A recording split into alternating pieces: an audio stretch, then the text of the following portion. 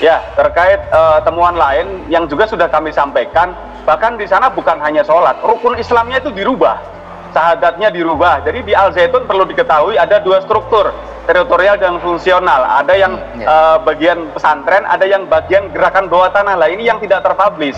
Jadi memang uh, ketika bicara santri, kurikulumnya masih dinas pendidikan, tapi ada hidden kurikulum. Ini yang tidak pernah dipublish.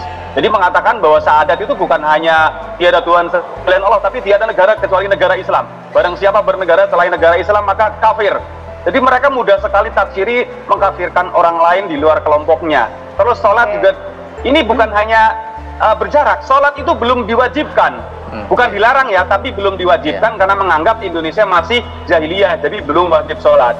Zakat juga dihitung pakai satu kandang kurma. Puasa bukan puasa Ramadan.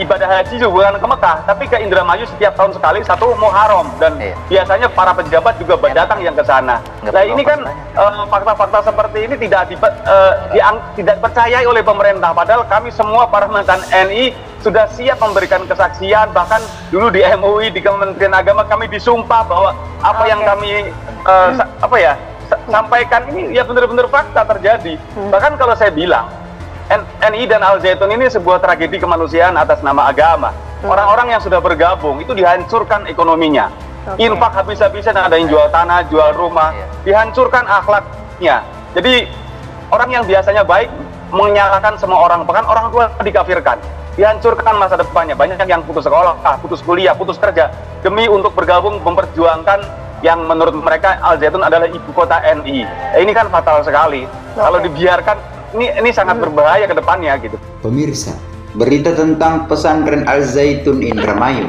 semakin memanas. Olehnya itu, di tengah kegaduhan ini, diharapkan pemerintah harus turun tangan secepatnya sehingga tidak membuat gaduh masyarakat luas.